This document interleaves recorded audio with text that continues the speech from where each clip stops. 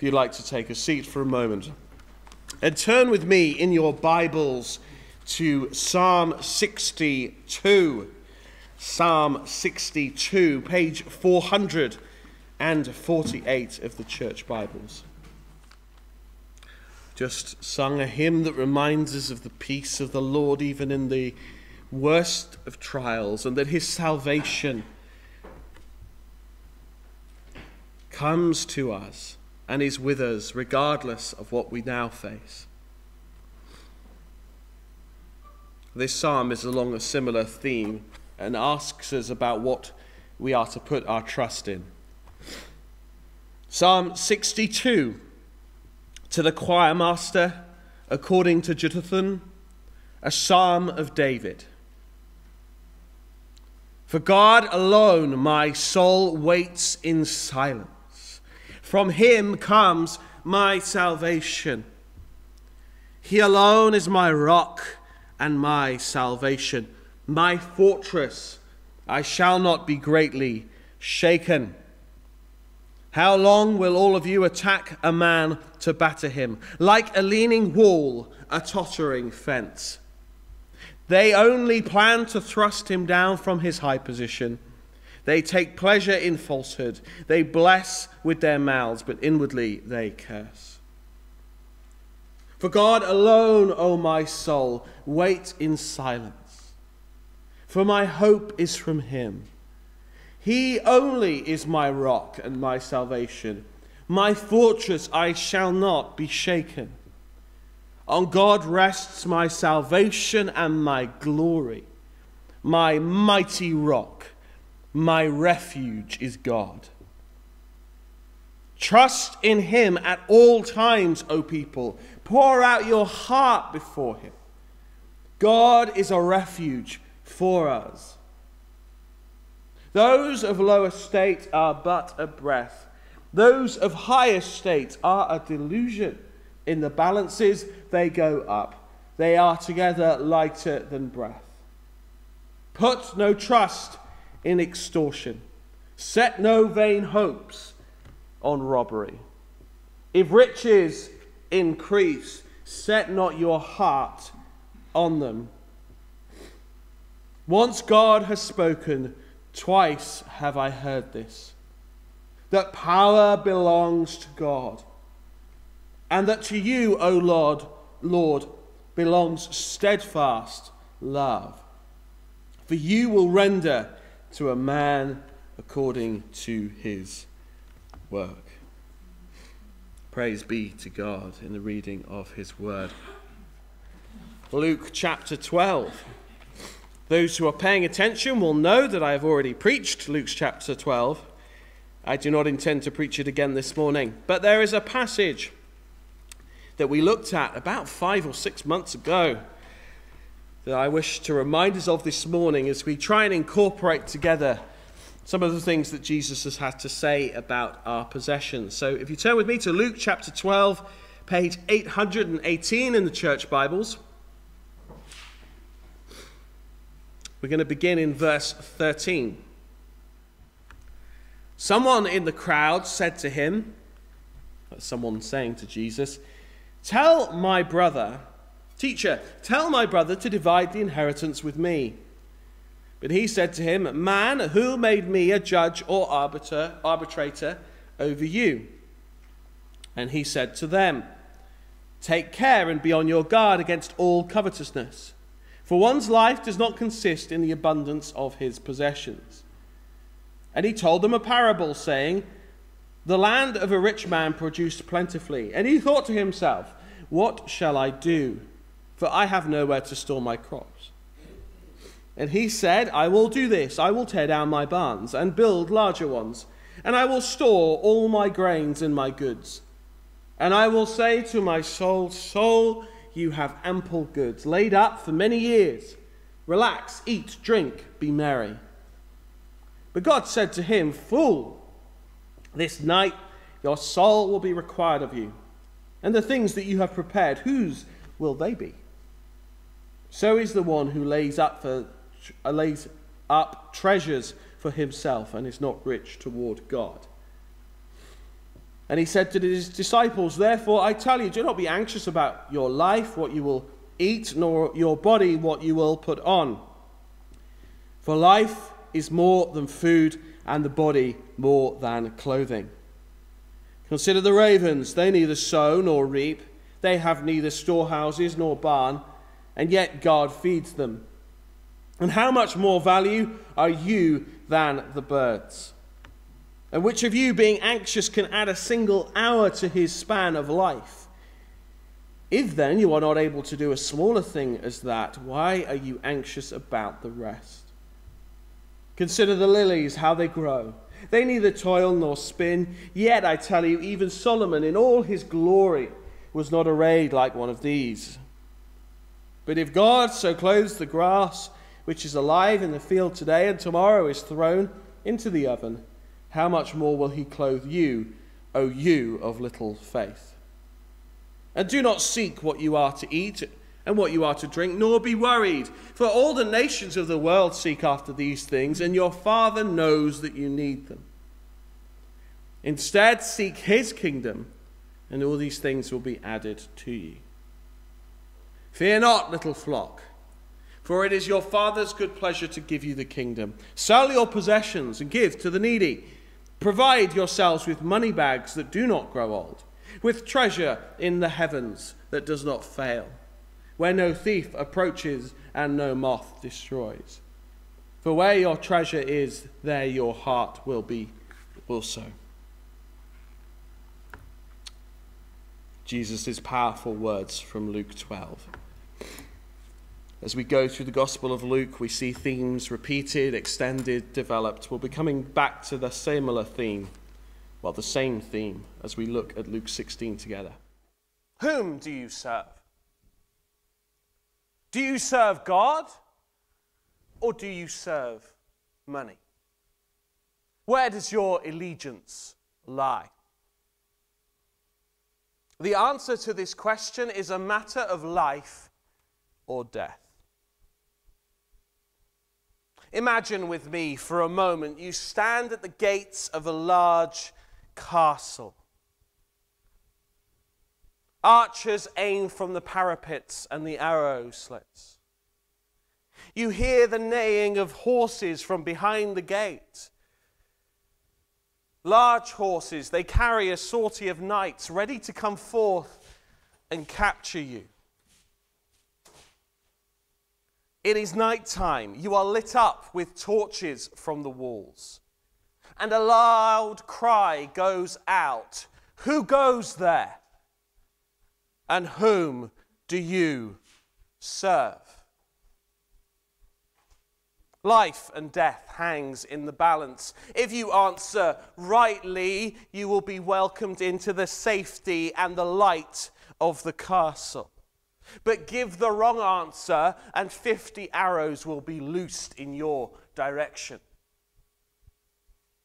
If somehow you dodge those, the riders will be upon you in moments. The night is cold and you are lost. You need to enter the castle. There is only one way in. Whom do you serve? In the flickering torchlight, you see a shining golden crown appear on the top of the parapet. You hear a faint conversation, and the herald cries out again Tell us who you are and whom you serve.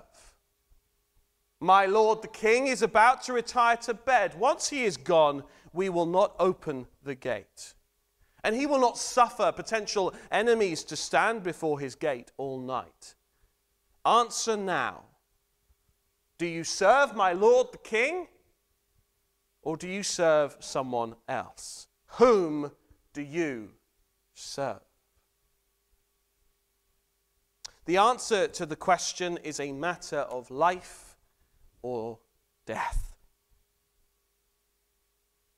This morning I speak to you of this matter of grave importance, whether you serve God or money. And the answer to this question will determine your entry into the kingdom of God. If you are certain that you know the king, then you need not worry. But if you are uncertain, then my hope this morning is that Jesus' words will help you determine who you serve. And if you are certain you serve money, then Jesus' words will form a very serious warning for you. Without any further delay, let us examine Jesus' words together. Turn with me in your Bibles to Luke chapter 16. We're going to begin in verse 1. We will consider Jesus' question as he comes to con- his conclusions at the end of the parable of the dishonest manager. We looked at that parable a few weeks ago. To put this question in its proper context, we're going to read from verse 1.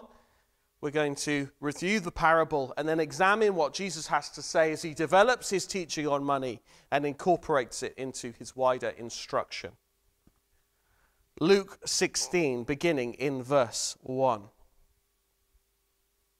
He, that's Jesus, also said to the disciples, There was a rich man who had a manager, and charges were brought to him that this man was wasting his possessions.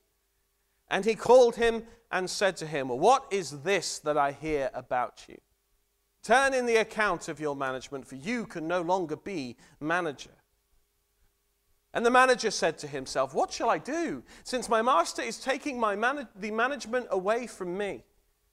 I am not strong enough to dig, I am ashamed to beg. I have decided what to do, so that when I am removed from management, people may receive me into their houses. So, summoning his master's debtors one by one, he said to the first, How much do you owe my master? He said, A hundred measures of oil. He said, Take your bill and sit down quickly and write fifty.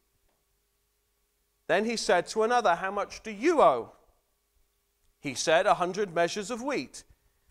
He said to him, Take your bill and write eighty. The master commended the dishonest manager for his shrewdness. For the sons of this world are more shrewd in dealing with their own generation than the sons of light. And I tell you, make friends for yourself by means of unrighteous wealth, so that when it fails, you may receive, they may receive you into the eternal dwellings. One who is faithful in a very little is also faithful in much. And one who is dishonest in a very little is also dishonest in much.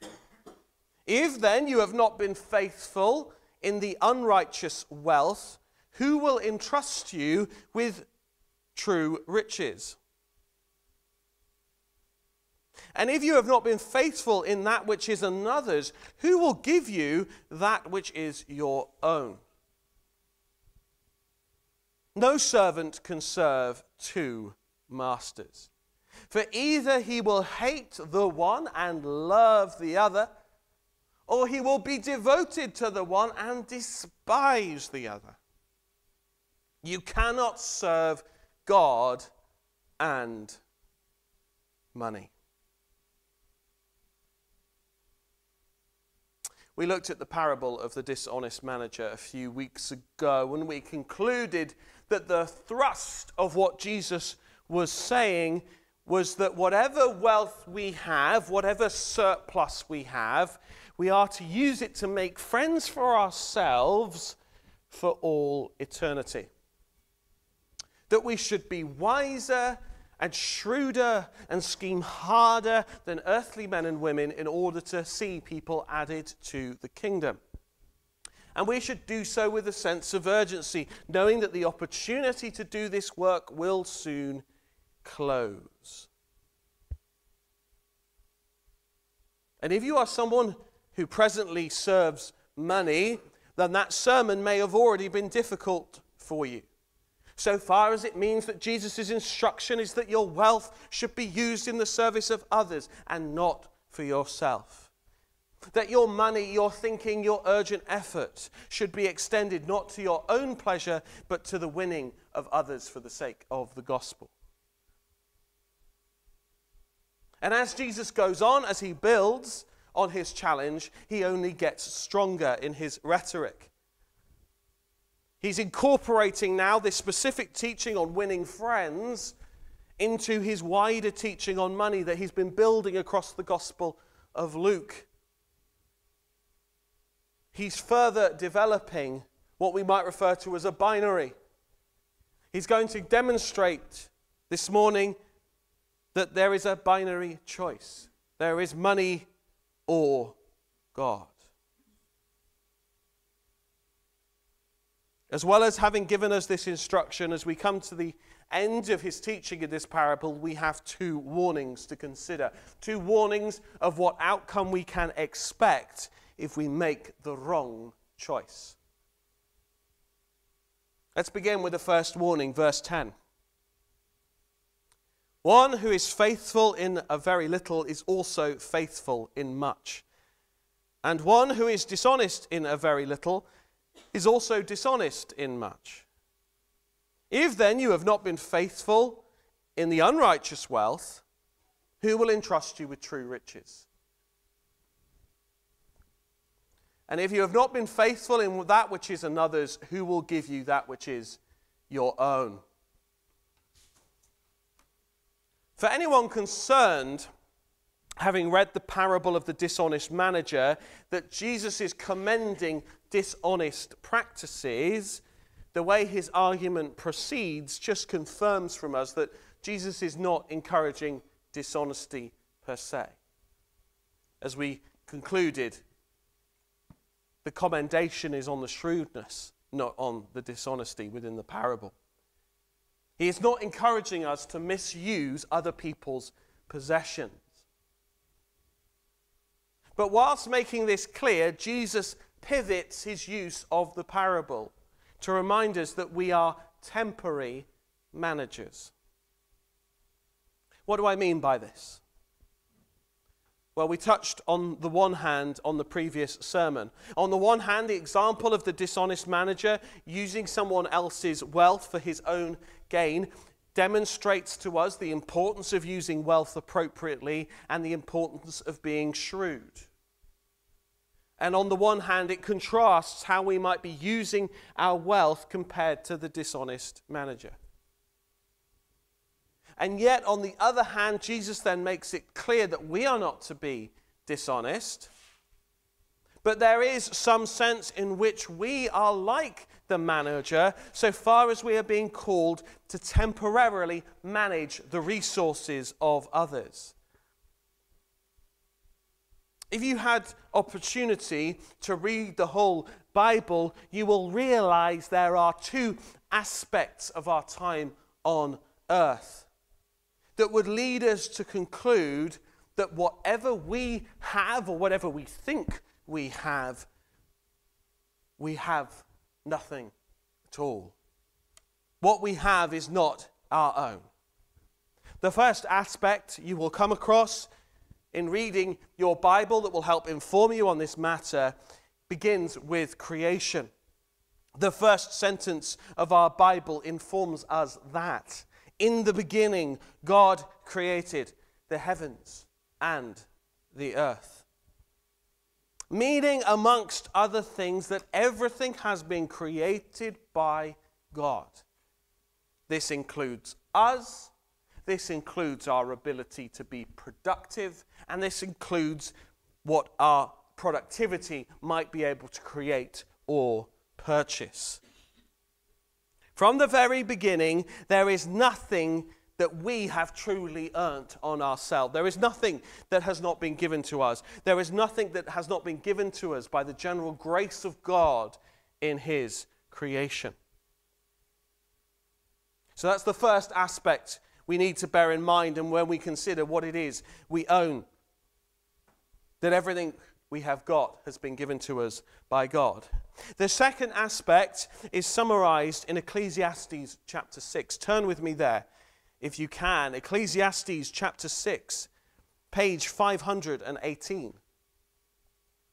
My apologies, Ecclesiastes 2, not Ecclesiastes 6. Ecclesiastes 2, page 518. Ecclesiastes 2, beginning in verse 18. Solomon writes, I hated all my toil in which I toil under the sun, seeing that I must leave it to the man who will come after me. And who knows whether he will be wise or a fool? Yet he will be master of all for which I toiled and used my wisdom under the sun. This also is vanity. So I turned about and gave my heart up to despair over all the toil of my labors under the sun.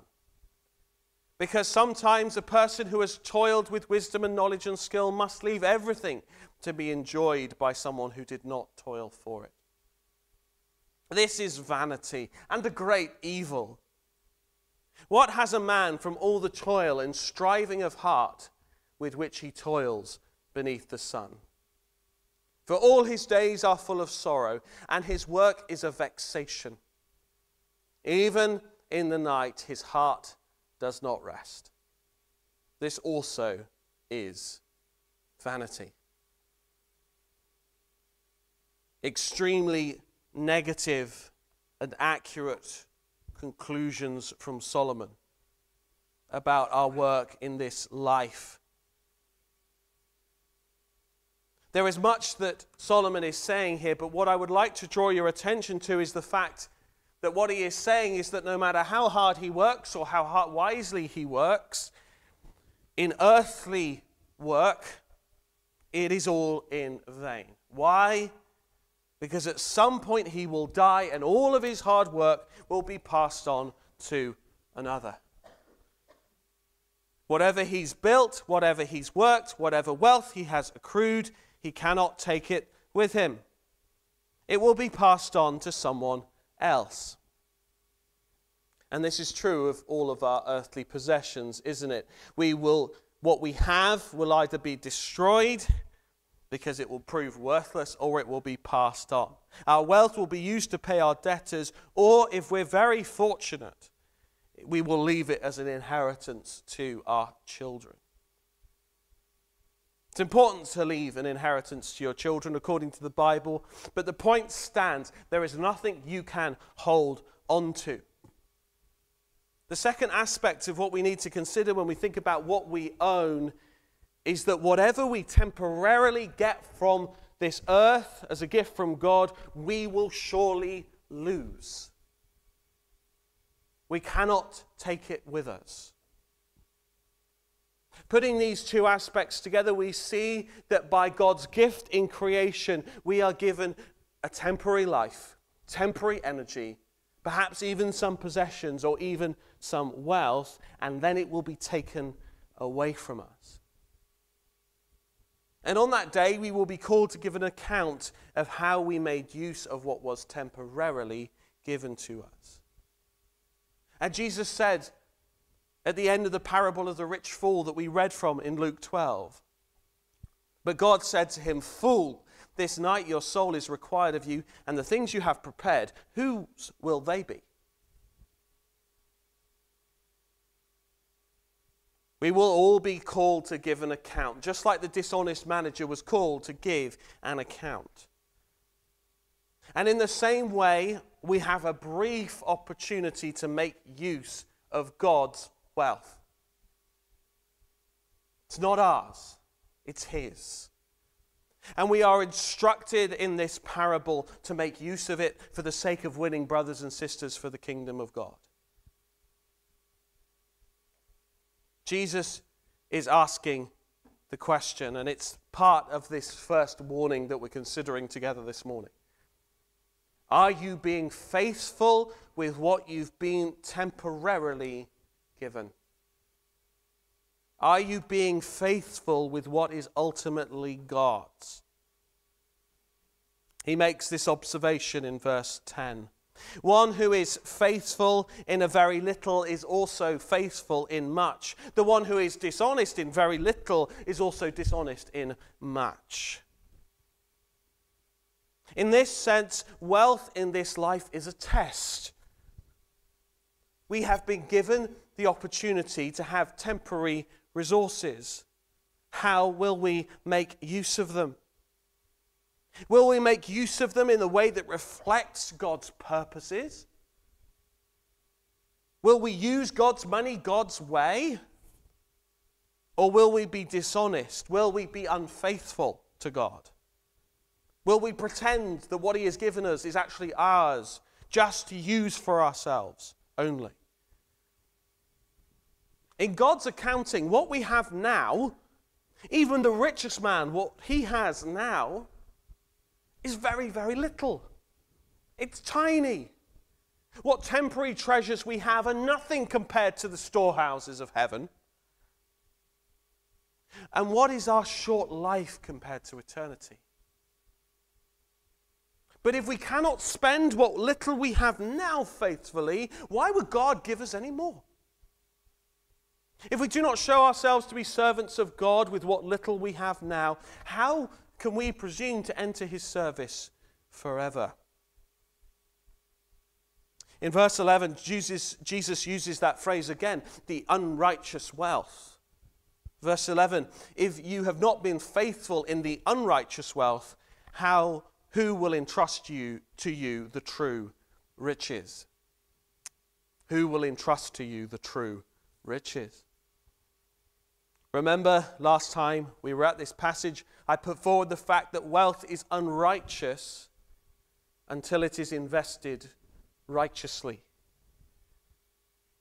And so, in that sense, all hoarded earthly wealth is unrighteous. It is a misuse of funds if it is hoarded for our own security at the expense of others. In that sense, the wealth that we have does us no good. It gives us no righteousness. We are being warned here that if we misuse the wealth that is useless to us, we will never gain true riches in the kingdom. The riches that we might receive at the beginning of eternity and that we would never lose. Jesus develops this thought, thought further in verse 12. And if you have not been faithful in that which is another's, who will give you that which is your own? The subject of what we own and what we should own is much debated, particularly just during discussions what sort of society we should be aiming for, what utopia we should work towards. What heaven on earth should we build? On the one extreme, you have those for whom heaven on earth is having total control over your own possessions and land, to do with as you please, owing nothing to anyone. Taxation is theft, after all, they might say. And on the other, there are those that would build a utopia when everyone owns everything. And in the same breath, no one owns anything. Some prophesy that when such a utopia is reached, you will own nothing and be happy. God's word stands far above such debates, speaking primarily not to what this earth can be turned into, but calling us to make decisions for the age to come to build towards a true and eternal utopia. The Bible does speak to the debate on private property ownership, but the primary thing that the Bible says about the ownership of our possessions is that the wealth that we have is not, in fact, our own. So far as I have established that everything is ultimately God's.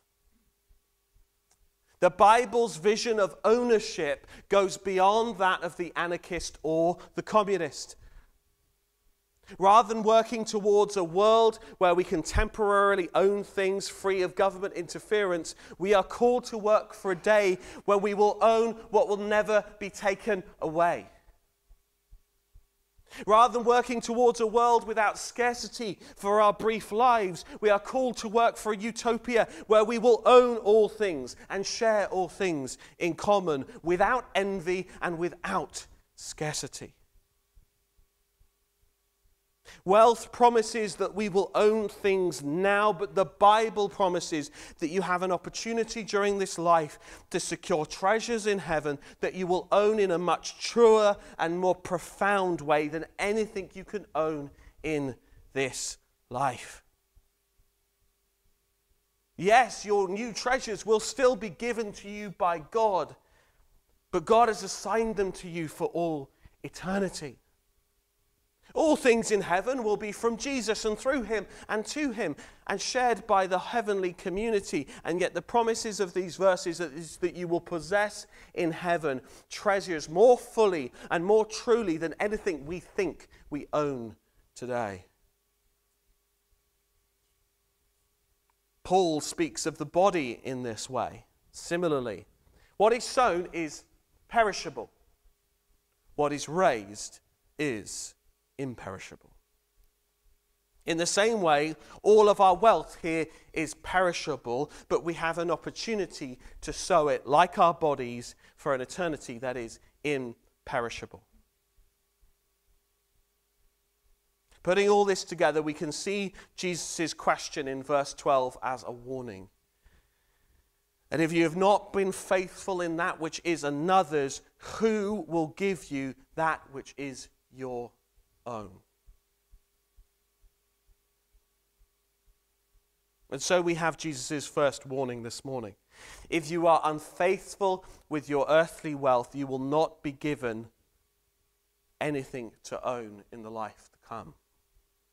If you are unfaithful with your earthly wealth, you will not be given anything that is your own in the life to come. So that's the first warning. The second warning brings us to our question. Verse 13 No servant can serve two masters, for either he will hate the one and love the other, or he will be devoted to the one and despise the other. You cannot serve God and money. Jesus makes it clear to us that we have a straight choice between two masters. One is God, and the other is wealth. To be clear, this word wealth is referring to our surplus. Even the final word, money, that we read in English, is actually the same Greek word for wealth, the word that was once translated mammon in older English. It's a word in Greek that is likely related to a Hebrew word that means to trust in.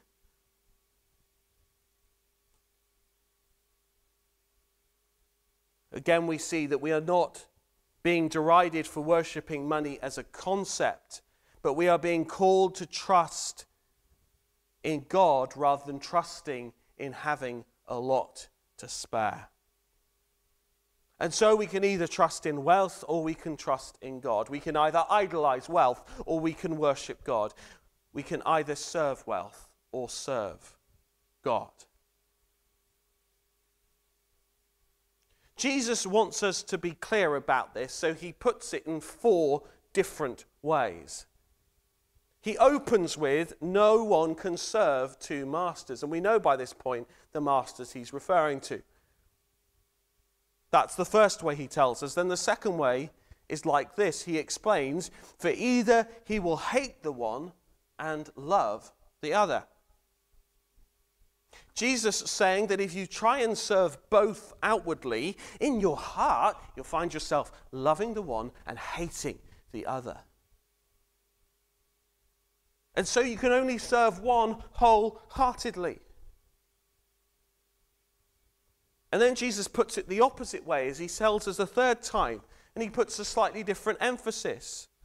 Or you will be devoted to the one and despise the other. These are different words here. In the first instance, we're looking at a heart attitude. But if we have a heart attitude, this will lead to an action problem. That word devoted, meaning to cling to, to be close to. And that word despise, to mean look down upon, to scorn, to contempt. Because of how you are feeling towards one master or the other, you will draw close to one and want to get away from the other. Anyone who has had the unfortunate experience of having two different managers over them in their work will know that if there is any conflict of interest between two managers, you will only be able to serve one. I was once put in this very position. I was put in charge of Christmas hiring at Marks and Spencers. I was given a corporate framework for hiring and the mission of hiring about 40 staff. My manager's manager, the commercial manager for the food department, and someone I got on with very well, he said to me something along these lines Alex, we need to get people in as quickly as possible so we can get them trained up in time for Christmas. By whatever means, put through anyone who's breathing. Those were his words. It was about, if they, in his view, there's something admirable about this. If someone is breathing, they can be trained, even if that meant I needed to fudge the paperwork a little bit. So that's my manager's manager. But the store manager, who had greater authority, who was further up the chain, but who I rarely saw, she instructed me very specifically. She said to me, Alex, I want to maintain a high standard for the staff here. Anyone who is only just over the line according to the corporate criteria, don't hire. If you have any question in your mind about any of the people in front of you, don't bring them on board. I could not adopt both policies towards hiring. I had to choose. I remember trying to go and speak to my manager's manager and try and reconcile these two ideas, but I was put on the spot to choose between them. Whichever manager I chose to ignore would certainly take it personally.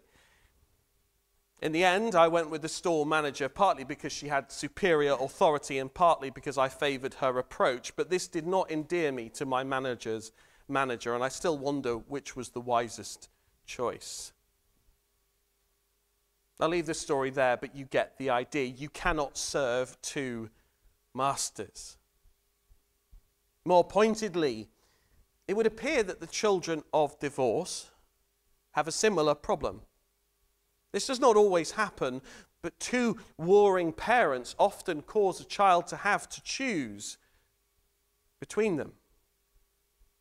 It's sadly so often the case that a child will be encouraged to love the one and hate the other, to cling to one and be apart from the other. You cannot serve two masters.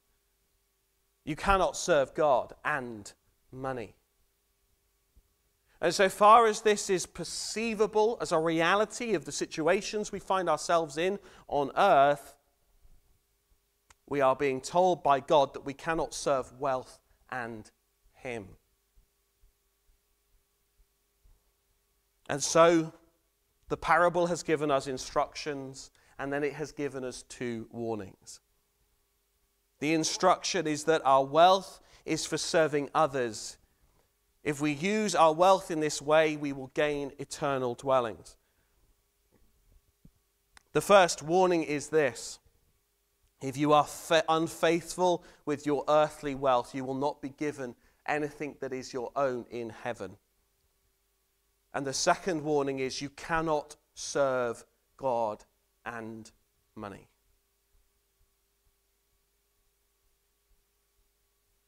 And so we come back to our question back before the castle gate Whom do you serve?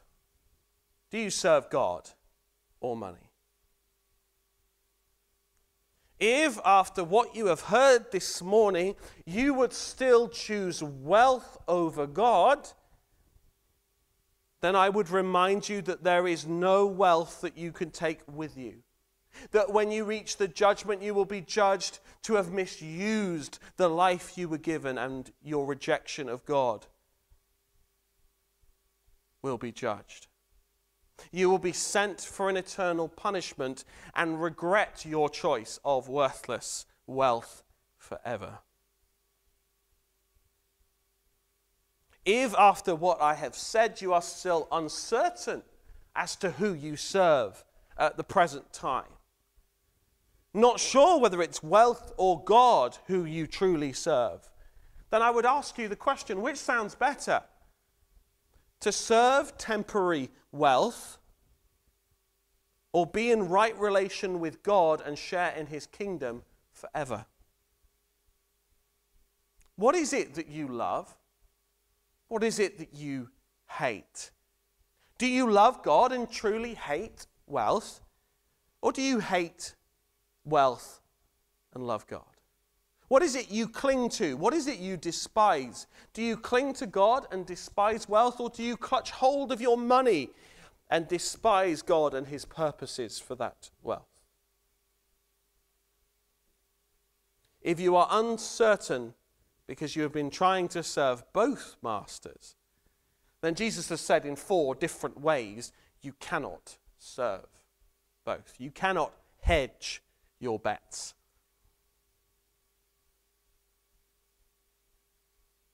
If you know in your heart that you have certainly chosen God and despised money, then you'll have to bear with me for another moment. For these warnings do not apply to you. If after what you've heard you would like to be certain, and your answer to the question of whom do you serve is I would like to serve God. If for the first time you would choose God rather than wealth, then the herald cries from the gates and asks for the final time Do you serve my Lord the King or some other master? Imagine with Lee, finally, that you realize that the final cry, that the doors of the castle have swung open, that the archers have disappeared, and you can see the king clearly on top of the parapet. If you wish to enter, then the sort of answer that you need to give is an answer that all will need to be able to hear clearly and you will need to be able to give it wholeheartedly.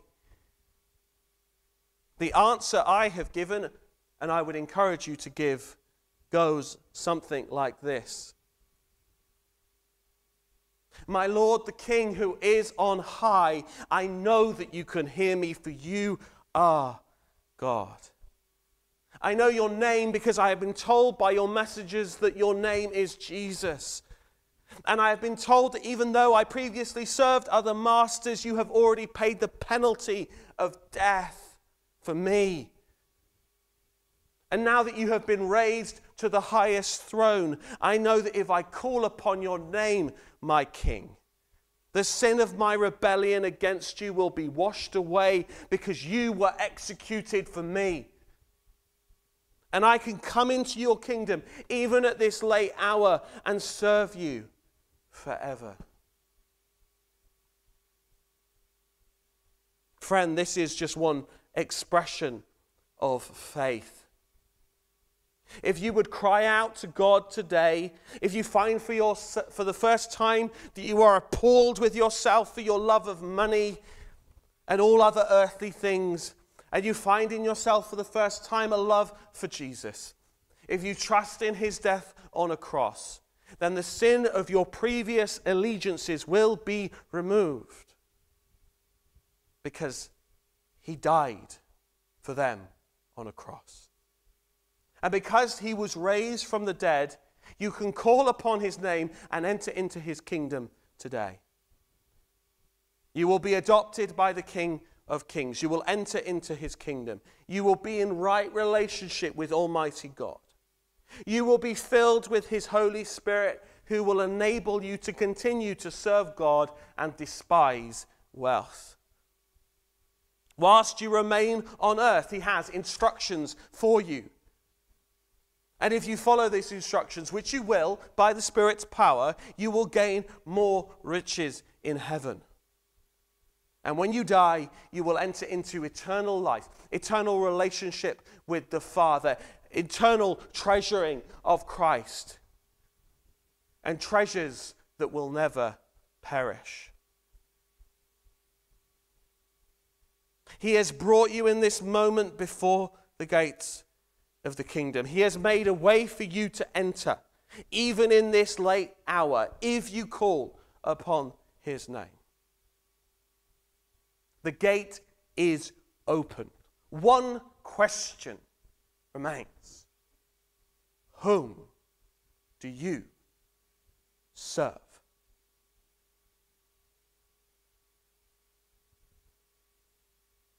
Let me pray for us. Father God, you speak to us in such a way as to challenge us that we might be rescued from the death that wealth brings. Lord, even those of us that have chosen you might detect in this moment that we have not been as faithful as we ought to be in keeping with the way of your salvation. that we have partly and temporarily chosen to trust in wealth rather than you. Lord, forgive us for this, I pray. Lord, help each of us here to be truly those who are devoted to you, who love you. Lord, build in us a great hatred for wealth.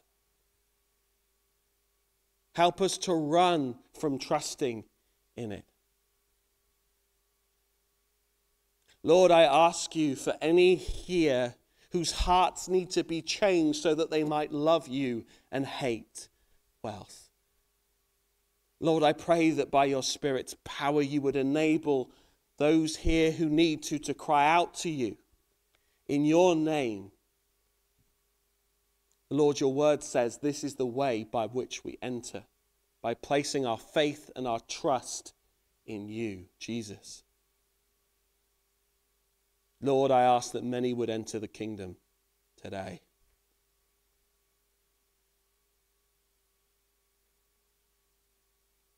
Lord, be with us as we go from this place. Help us to go in the light of your truth.